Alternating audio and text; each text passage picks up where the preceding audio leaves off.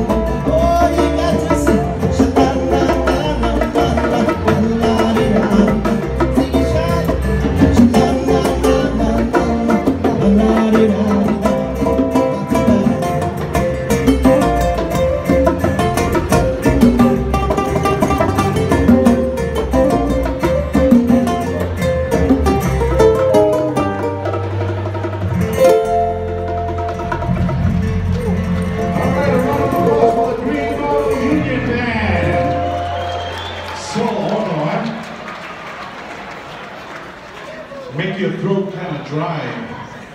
It's like even that, huh? All right, folks, once again, this is what our Tibacanui ornament looks like. I don't know if you guys can see that.